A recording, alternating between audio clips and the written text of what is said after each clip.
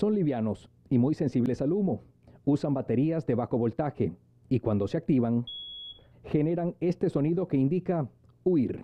En cada cuarto y en cada pasillo yendo a cada cuarto o en la sala. La ubicación en casa es estratégica y la revisión un paso elemental. Regularmente las pilas se cambian cada seis meses, pero con nosotros las baterías duran de 7 a 10 años.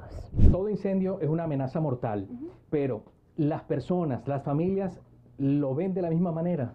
No, muchos se confían en el hecho de que porque no ha pasado nada hasta ahorita, no va a pasar o no puede pasar. Un error grave, al igual que postergar el cambio de baterías que dicen suele llevar a otra acción riesgosa.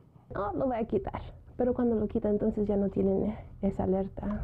Cada semana los bomberos de Dallas pueden visitar de 20 a 50 casas y en una sola vivienda llegan a instalar hasta 10 dispositivos como este.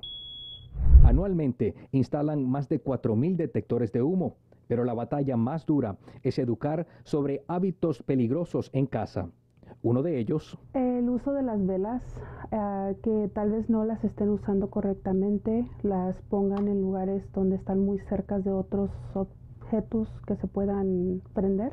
Pero los detectores de humo son un verdadero pasaporte de salvación. Tenerlos funcionando correctamente es una garantía de salvar vidas. por lo menos 50% de garantía. Cuando los bomberos visitan los hogares, también hablan sobre la importancia de tener planes de evacuación que se discutan en familia. Los bomberos de Dallas instalan estos detectores sin costo alguno, pero es un servicio estrictamente para quienes viven en la ciudad de Dallas. Si usted necesita instalarlos, solo tiene que llamar a los números que seguramente ya estará viendo en pantalla. Recuerdan que se trata de su vida y la de su familia. Miguel Ángel Piñero, Noticias 23.